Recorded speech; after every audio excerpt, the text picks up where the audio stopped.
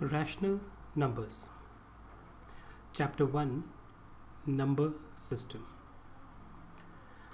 हम इस वीडियो में रैशनल नंबर्स के बारे में कुछ चीज़ें समझेंगे we will understand something about rational numbers this question and this topic is part of chapter one number systems so let us first see कि what is a rational number rational number क्या होता है?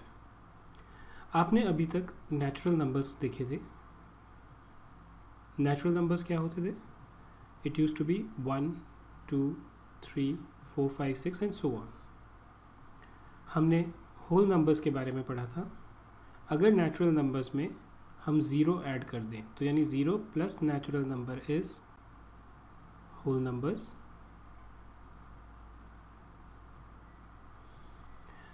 इसके अलावा हम लोगों ने integers देखे थे। इंटेजर्स क्या होते थे? अगर आप होल नंबर्स में सारे नेगेटिव नेचुरल नंबर्स भी ऐड कर दें, यानी zero one two three four and so on is this is what whole numbers अगर इससे पहले मैं minus one minus two minus three and so on add कर दूँ तो ये हमारे इंटेजर्स हो जाते थे। अब रैशनल नंबर क्या हुआ? Rational number is a number which can be written in the form of P upon Q यानी आप किसी भी रैशनल नंबर को पी अपॉन क्यू के फॉर्म में रख सकते हैं where P and Q are integers यानी पी की जो वैल्यू है, वो इस सेट में से आएगी। It can be one it can be minus one it can be minus three it can be four anything similarly Q की वैल्यू भी कोई भी इंटीजर हो सकती है, लेकिन रैशनल नंबर कब होगा? जब वो p अपॉन क्यू के फॉर्म में होगा and q is not equal to zero ये जो हमारा डिनोमिनेटर है, इसको हम डिनोमिनेटर बोलते हैं, इसको न्यूमरेटर जो डिनोमिनेटर है it can not be equal to zero अगर ये ज़ीरो है, तब ये जो है, ये रैशनल नंबर नहीं होगा. But otherwise any number in the form of P upon q is a rational number provided p और q की जो वैल्यू है वो इंटेजर्स में से हो। अब एक इंटरेस्टिंग चीज़ मैं आपको यहाँ पर बताता हूँ। क्योंकि इंटेजर्स में सारे नेचुरल नंबर्स आते हैं और सारे होल नंबर्स आते हैं तो यहाँ पे जो वैल्यू है, ये भी हम कह सकते हैं कि यहाँ सारे नेचुरल नंबर्स होंगे या होल नंबर होंगे। लेकिन इस केस में क्या है, क्योंकि क्यू की वैल्यू ज़ीरो नहीं हो सकती तो यहाँ पर सारे होल नंबर्स नहीं आ सकते। यहाँ पर जो डिनोमिनेटर है वो हमेशा या तो नेचुरल नंबर होगा या नेगेटिव इंटीजर होगा। बहरहाल to keep things simple you can use the denominator as an integer you can use the numerator as an integer the only condition is denominator can not be equal to zero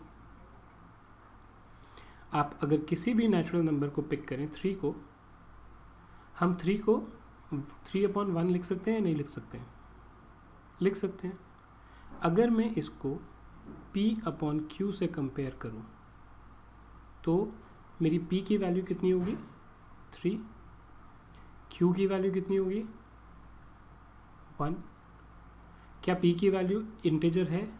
yes Q की value integer है? Yes क्या Q zero है? नहीं. इसका मतलब three upon one is also an rational number or in other words, all natural numbers are rational numbers. Why? Because every natural number can be written as that natural number divided by 1 the moment you do that, क्योंकि natural number में तो zero नहीं होता right so P की value कभी भी zero नहीं होगी। अगर किसी भी नंबर को आप दैट डिवाइड बाय वन लिख सकते हैं, इसका मतलब सारे नेचुरल नंबर्स जो हैं, वो रैशनल नंबर्स हो सकते हैं। चलिए हम इसी तरह के एक दो छोटे छोटे से क्वेश्चंस और देखते हैं। एक छोटा सा क्विज हम लोग देखते हैं। Each and every whole number is a natural number क्या ये स्टेटमेंट सही है? हम जानते हैं कि होल नंबर्स क्या होते हैं? होल नंबर्स होते हैं zero one two three and so on right natural numbers क्या होते हैं? One two three and so on अब होल नंबर में ज़ीरो आता है। लेकिन नेचुरल नंबर में तो ज़ीरो नहीं आता। इसका मतलब क्या हुआ कि सारे होल नंबर्स जो हैं वो ज़रूरी नहीं है कि नेचुरल नंबर्स हो। इसलिए ये स्टेटमेंट फॉल्स है। हाँ अगर यही स्टेटमेंट होता each and every natural number is a whole number तो क्या ये ट्रू होता? यस yes, तब ये ट्रू हो जाता। क्यों? क्योंकि जितने भी नेचुरल नंबर्स हैं ये सारे के सारे होल नंबर्स में इंक्लूडेड होते हैं। Each and every integer is a rational number अब इंटीजर जैसे मैंने आपसे कहा था minus four minus three minus two minus one zero one two three and so on हर एक इंटीजर को हम that integer divided by one लिख सकते हैं। Just what I explain to you about natural numbers अब इस केस में अगर मैं कंपेयर करूँ तो न्यूमरेटर जो है वो इंटीजर है डिनोमिनेटर जो है, वो भी इंटीजर है। क्योंकि डिनोमिनेटर हर जगह पे वन है, इसका मतलब जो क्यू है हमारा, यानी इसको अगर मैं पी अपॉन क्यू से कंपेयर करूँ तो Q is not equal to zero इसका मतलब हर इंटीजर रैशनल नंबर हो सकता है therefore this statement is true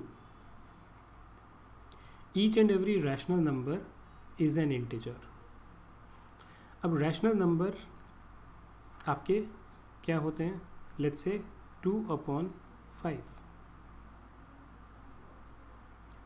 two upon five क्या एक रैशनल नंबर है? अगर मैं इसको पी अपॉन क्यू से कंपेयर करता हूँ तो पी की वैल्यू है टू क्यू की वैल्यू है फाइव ये इंटीजर है, ये इंटीजर है and q is not equal to zero which means two upon five is a rational number but क्या टू अपॉन फाइव इंटीजर है?